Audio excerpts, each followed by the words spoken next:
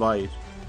Պաստորաթերթը գրում է. Ադրբեջանում գերեվարված Արցախի ռազմաքաղաքական ղեկավարությունն առաջիկայում կանգնելու է դատարանի առաջ, գլխավոր դատախազ Քյամրան Ալիևը հայտարարել է գործի նախաքննության ավարտի մասին, նշել, որ նյութերին ծանոթանալուց հետո միանգամից 15 մեղադրյալի մասով գործն ուղարկվելու է դատարան։ 2023 թվականի սեպտեմբերի վերջին ադրբեջանցիներն առևանգեցին եւ կալանավորեցին Արցախի նախկին պետնախարար Ռուբեն Վարդանյանին, պաշտպանության նախկին նախարար Լևոն Մնացականյանին եւ նրա տեղակալ Դավիթ Մանուկյանին, արտաքին գործերի նախարար Դավիթ Բաբայանին, խորհրդարանի նախագահ Դավիթ Իշխանյանին, նաև Արցախի նախկին նախագահներ Արկադի Ղուկասյանին, Բակո Սահակյանին եւ Արայիկ Հարությունյանին։ Ամիսներ շարունակ նրանք մնացել են կալանքի տակ եւ Հայաստանի իշխանությունները մատը մատին չեն խփել Արցախի զինվորականներին եւ նախկին պաշտոնյաներին հետ վերադարձնելու համար։ Ընթակառակը Հայաստանի գործող վարչախումբը ցուցադրաբար ուշադրություն չէր դարձնում Բաքվում գտնվող ռազմագերիների վրա, որևէ ջանք չէր գործադրում նրանց պաշտպանելու ուղղությամբ։